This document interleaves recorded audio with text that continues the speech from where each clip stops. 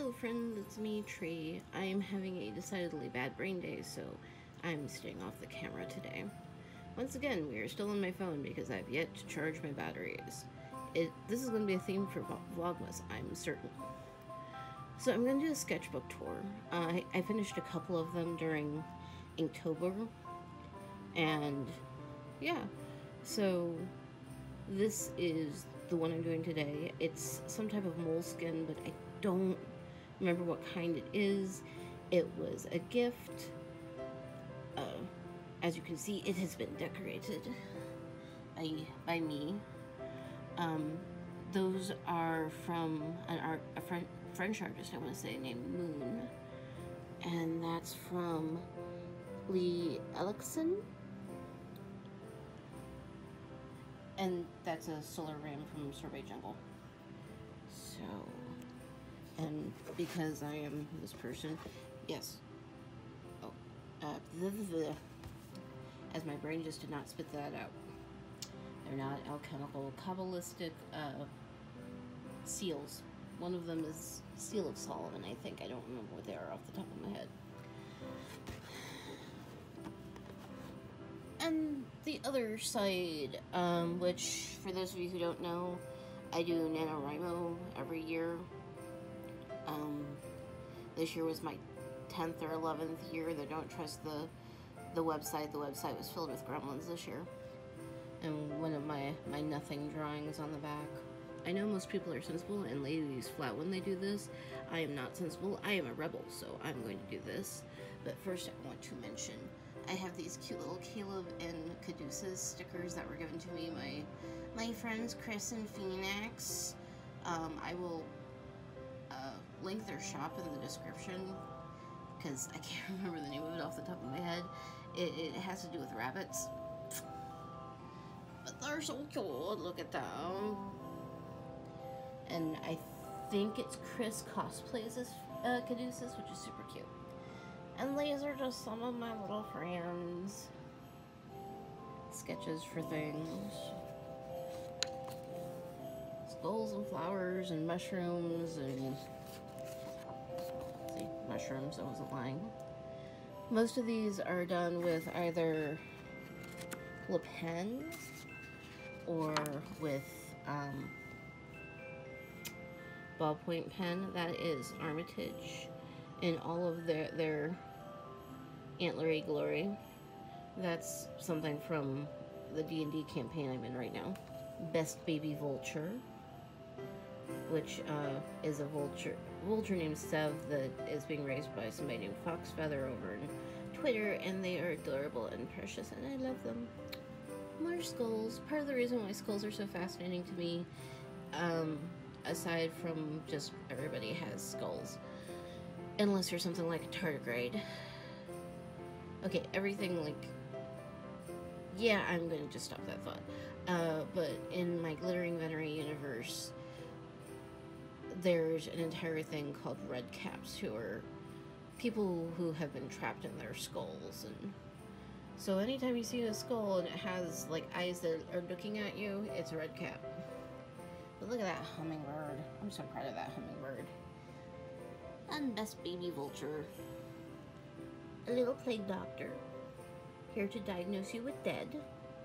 That's Ent, my Circle Spores Artificer Druid that was not in the right order. My Circle Spores Druid Artificer ha from my D&D campaign. Our big mushroom.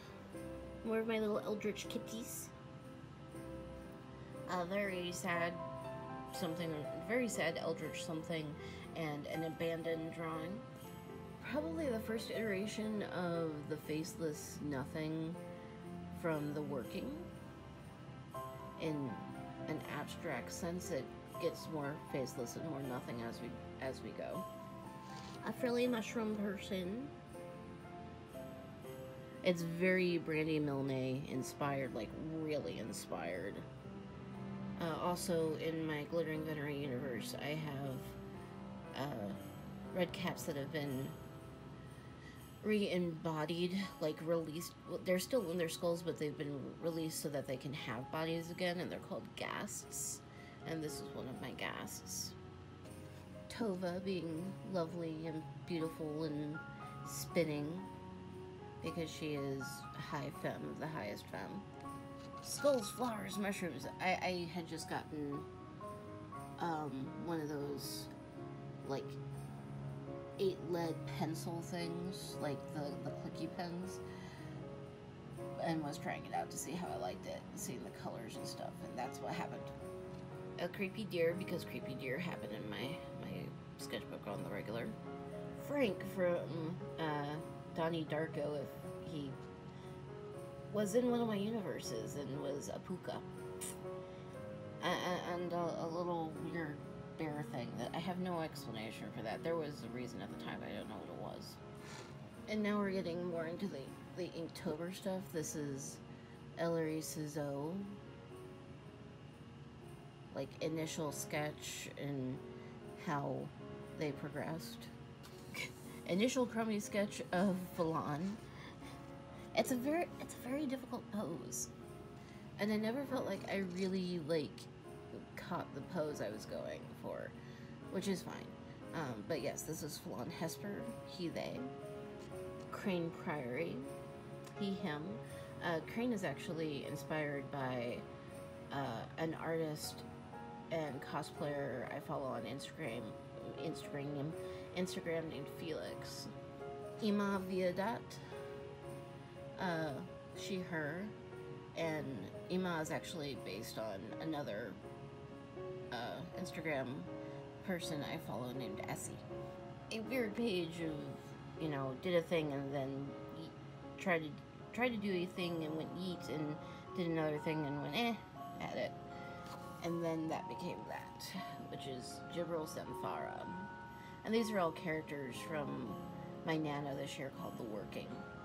One of the, the creatures from The Working uh, Sid Ilya Sarkis. I, I, find it really helpful when I'm writing to, especially Nano, um, where time is of the essence. If I have character character sketches refer back to when I'm writing, means that I've already more or less got people pinned down, and then I can just deal with that. Hilo Tomio, Eugene Curie, who's inspired by Eliot Waugh uh, from The Magicians. Topher Perry, who is inspired by Shinyin Kaur, who's one of my favorite artists currently. Priya Iyer, who's uh, inspired by my, my, my actual friend Useba. Anthony Frey, who has no real world cognate as as far as I know, but the design of her uh, was inspired by the artist Loesch.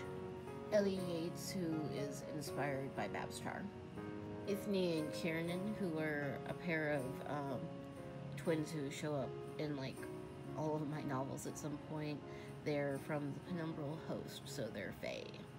They've gone through a lot of iterations. This is my favorite thus far. A questionably good drawing of um, of Aya Kaylore McKay, who is one of my longtime characters in one of my other novels. Uh, J.L. Delilah Scarlet, who is she is a werewolf hunter. Go figure. Hood, red, hop. Scribbles of Enum Hollow, who is another longtime character of mine. Uh, Aya, Jail, and Enum all appear in a couple of the same novels together. I'm having a space who this one was. Um, I'm gonna have to look. I just don't remember off the top of my head. When I have this many characters, sometimes you just don't remember. But I'm sure they're from a. Oh, I know who they are. They're L. Um, it. I've just recently. Their hair is recently changed. That's why I'm having a confusion. Yes, that's L. On the left is uh, Imogen Pius, and on the right is um, Kai. Kai is uh, Tova's twin, and Imogen is Killian's twin. I have a thing for twins. And on the left that is uh, Lux Halcyon, who is Gray's twin, and on the right is Tova, who is Kai's twin. On the left is Gray, who is Lux's twin, and on the right is Killian, who is Imogen's twin. And the, these have all been done with like a combination of uh, Copic and uh, Mildliner and colored pencil and uh, gel pen and ballpoint pen. And occasionally there's some charcoal in there. And on the left, that is, as I just totally lost their full name, uh, Adir. I, their first name, their their given name is Adir. I have a lot of people in my head. Um, yeah, I can't remember Adir's surname. Um, and on the right is uh, Zooey Blake.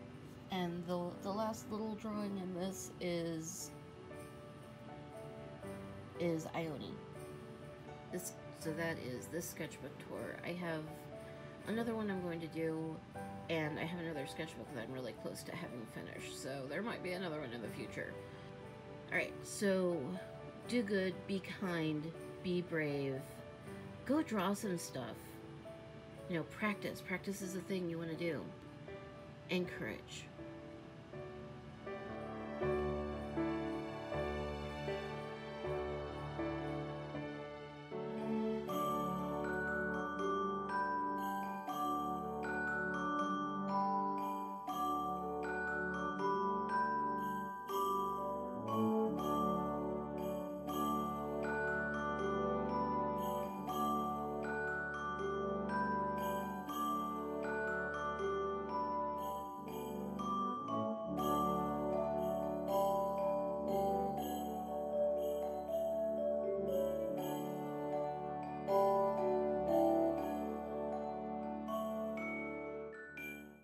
Pages, pages, pages.